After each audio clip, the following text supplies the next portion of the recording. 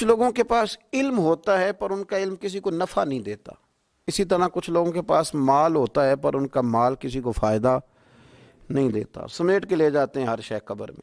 हज़रत अबू बकर सिद्दीक रदी अल्लाह तु का माल इतनी शान वाला था कि आप रदी अल्लाह तु कारोबार करते थे और कपड़े का कारोबार करते थे और वसी कारोबार करते थे।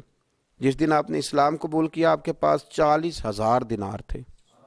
चालीस हज़ार दिनार बहुत बड़े अमीर आदमी के पास होते थे। चालीस हज़ार दिनार थे। कुछ ने दिरहम भी लिखे हैं।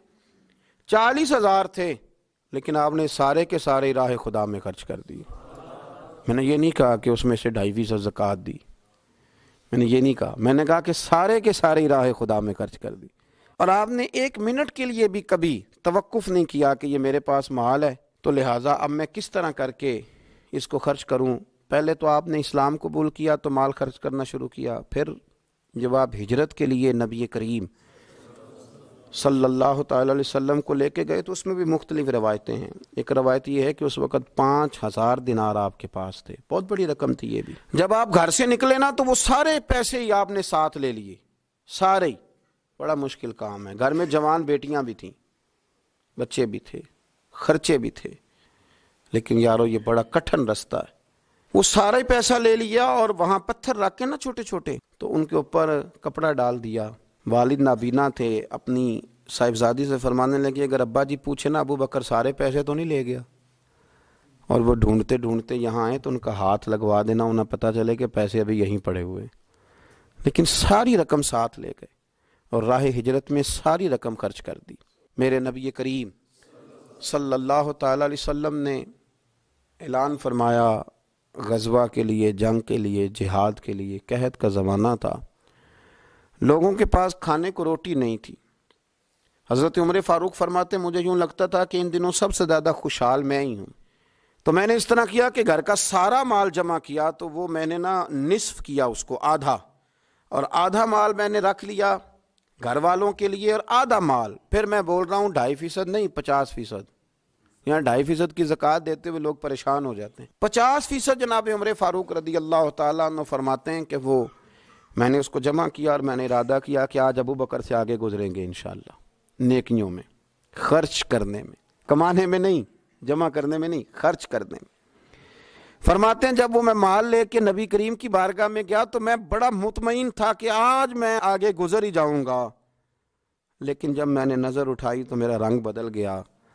मेरे पीछे पीछे अबू बकर सिद्दीक भी आए और फरमाते हैं, मैंने उस मर्द दरवेश का रंग बदला हुआ देखा, सर की टोपी भी उतार ली, पैरों के जूते भी उतार दिए, वजूद के कपड़े भी उतार के बोरिए का लिबास पहन लिए और घर से सुई धागा भी उठा लाए। कहते माल रखा। हुजूर ने मुझसे पूछा, उमर क्या लाए हो? मैंने कहा, हुजूर, आधा ले आया हूँ, आधा छोड़ आया हूँ, नबी करीम बड़े खुश हुए। मुझसे पूछा था, क्या लाए हो? बात पे गौर करना। और अबू बकर सिद्दीक से पूछा, अबू बकर, घर में क्या छोड़ के आए हो? मुझसे पूछा, क्या लाए हो? अबू बकर से पूछा, माँ, अब कही था क्या छोड़ के आए हो? जनाब सिद्दीक अकबर ने नज़र झुकाई, कुर्बान जाऊँ जवाब पे भी। ये नहीं कहा, हजूर, कुछ नहीं छोड़ के यार, ये भी तो बंदा कह, सोने यार सारे ले आया क्यों छोड़ना था? आपने हुक्म किया था छोड़, ये नहीं कहा कि यार रसूल अल्लाह मैं सारा ले आऊँ। क्या जवाब दिया, माँ, अब कई तलामुल्ला व रसूल। या रसूल अल्लाह सल्लल्लाहु अलैहि वसल्लम, आपने पूछा, क्या छोड़ के आया हूँ? मैं घर में अल्लाह छोड़ आया हूँ, अल्लाह का नबी छोड़ आया हूँ। मेरा को घर खाली है, वहाँ अल्लाह का ज़िक्र होता है। वहाँ रसूल अल्लाह की नात होती है, हजूर, घर में अल्लाह रसूल का नाम छोड़ के, भरा हुआ घर छोड़ के आया हूँ। फिर कुर्बान जाऊँ मेरे नबी करीम पर भी। हजूर सैद आलम ने फरमाया, ये तेरे पीछे जबरील खड़े हैं और वो भी टाट का लिबास पहन के आए हैं। मैंने उनसे पूछा, है जबरील आज टाट का लिबास? आज टाट का लिबास क्यों पहना है? तो अर्ज़ की, या रसूल अल्लाह आज ना अबू बकर सिद्दीक ने टाट का लिबास पहना है तो रब को इतना पसंद आया है कि उसने कहा, फरिश्तो नूरी कपड़े उतारो सारे।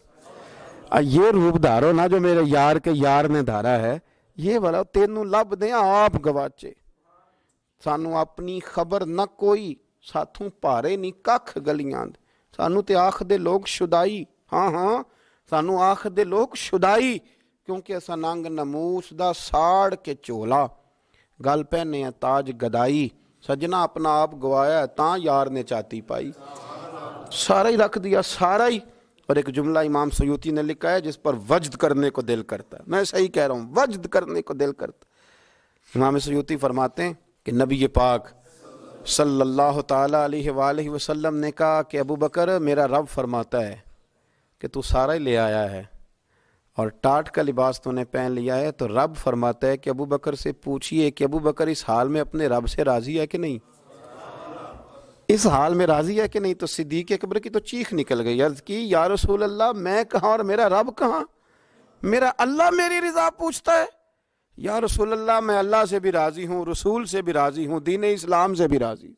हुजूर, मैं बड़ा ही राज़ी और मैंने यहाँ एक अजीब बात पढ़ी। हज़रत उबई बिन काब ने एक दफ़ा कहा था यार रसुल्ला मैंने सारा माल देना है। फरमाया, नहीं भाई, चौथा हिस्सा दे, तीन हिस्से रख ले।